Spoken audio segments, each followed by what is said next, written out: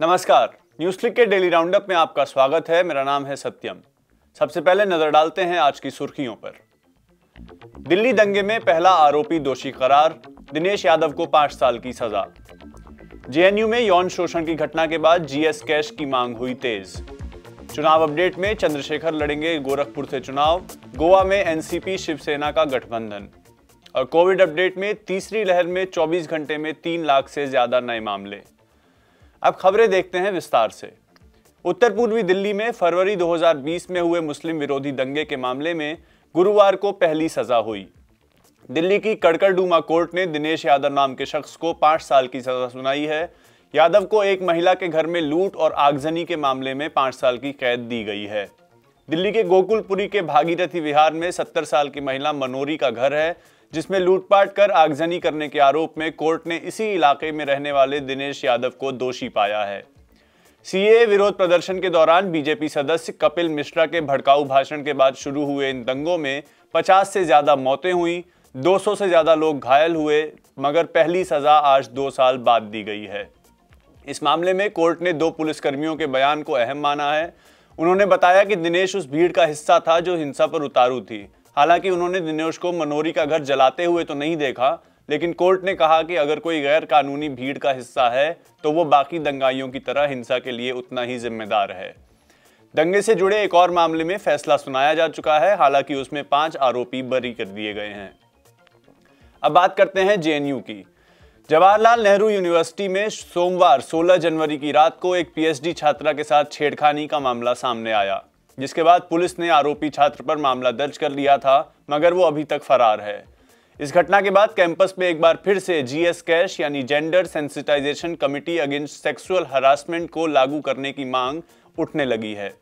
JNU छात्र संघ के आह्वान पर आज रात 9 बजे से कैंपस में रिक्लेम द नाइट के नाम से एक मार्च निकाला जाएगा, जिसमें छात्र छात्राएँ एक सुरक्षित कैंपस की मांग करने के साथ ही जीएस कैश को लागू करने और इंटरनल कंप्लेंट्स कमिटी यानी आईसीसी को खारिज करने की मांग करेंगे। बता दें कि जीएस कैश और आईसीसी का विवाद लंबे समय से चल रहा है।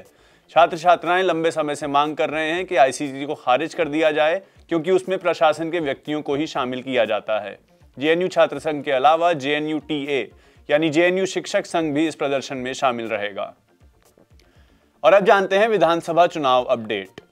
उत्तर प्रदेश में आज़ाद समाज पार्टी और भीम आर्मी के संस्थापक चंद्रशेखर आज़ाद ने ऐलान किया कि वो गोरखपुर से सीएम आदित्यनाथ के खिलाफ चुनाव लड़ेंगे। सपा या कांग्रेस से गठबंधन न होने के बाद आज़ाद ने यह फैसला किया है। उन्होंने कहा कि वो अपने दम पर चुनाव लड़ेंगे और ये कि वो परिवर्तन की लड़ाई लड़ रहे हैं। इसके अलावा आज एआईएमआईएम ने अपने उम्मीदवारों की तीसरी लिस्ट जारी कर दी। सपा की बात करें तो कल अपर्णा यादव के बाद आज अखिलेश यादव के मौसा प्रमोद गुप्ता भी बीजेपी में शामिल हो गए हैं। इस बीच आज अखिलेश यादव ने ऐलान कर दिया कि अगर उनकी सरकार बनती है तो वो राज्य में पुरानी पेंशन व्यवस्था जो थी उसको बहाल कर देंगे।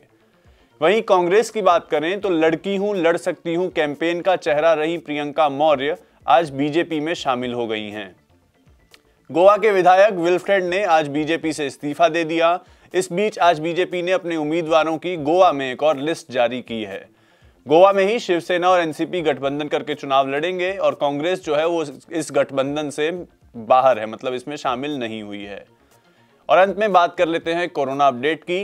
देश में पिछले 24 घंटों में कोरोना के तीन लाख सत्रह हज़ार से ज़्यादा नए मामले सामने आए हैं। इसमें से डेढ़ लाख से ज़्यादा मामले मात्र पाँच राज्यों महाराष्ट्र, कर्नाटक, केरल, तमिलनाडु और गुजरात से आए, गुजरात से हैं।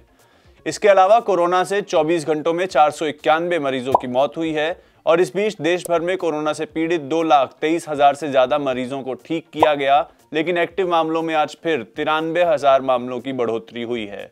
जिसके बाद देश में एक्टिव मामलों की संख्या बढ़कर करीब उन्नीस लाख चौबीस हज़ार तक पहुँच गई है। वहीं वैक्सीन की बात करें तो देश में कोरोना वैक्सीन की अब तक एक सौ उनसठ करोड़ सड़सठ लाख से ज़्यादा डोज दी जा चुकी हैं, जिनमें से करीब तिहत्तर लाख अड़तीस हज़ार वैक्सीन की डोज पिछले 24 घंटों में दी गई।